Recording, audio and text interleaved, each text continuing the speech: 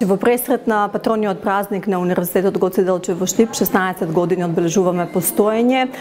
им дојдовме на идеја да промоцијата на универзитетот и на факултетот ја направиме во насока да ги поканиме младите,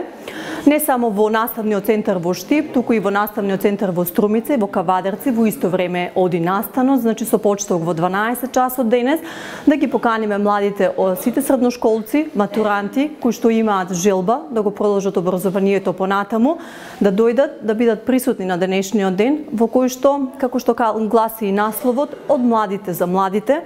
нашите студенти во погорните години ќе им се обратат на идните наши студенти и ќе им одговорат на прашањето зошто изборот на универзитет да биде универзитетот Гоце Делчев од Штип и зошто да студираат на земјоделскиот факултет. Овој настан ќе се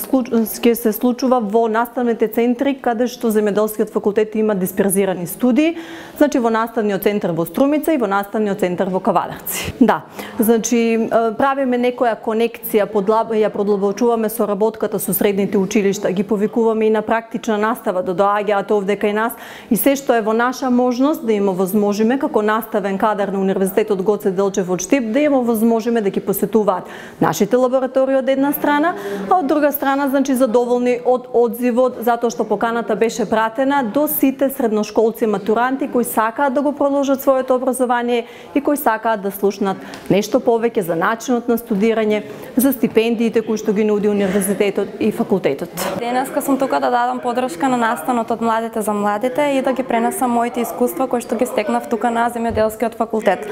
Сметам дека е многу по-убаво и многу по-друго чувство, нели, кога нашите искуства можеме да ги пренесеме на идните студенти кои што ќе дојдат. Нели тие може и така да се запознаат со студиските програми кои што ги нуди земјоделскиот земјоделскиот факултет, но сепак за еден средношколец многу е поубаво кога ќе слушне мислење од студент кој што веќе е нели во тек со сите активности кои што се случуваат тука на земјоделскиот факултет. Се сеќавам на сите убави моменти кои што сум ги поминала тука и за мене земјоделскиот факултет е едно големо семејство. Кога велам едно големо семејство, мислам дека ги отвара сите погледи кон пошироки хоризонти во светот како што ги отвори моите. Јас од секогаш сум имала, сум имала љубов кон природните науки, но тука кога станав дел од ова едно семејство, уште повеќе, значи ми се проширија погледите и таа љубов кон природните науки се зголеми на уште поголемо ниво.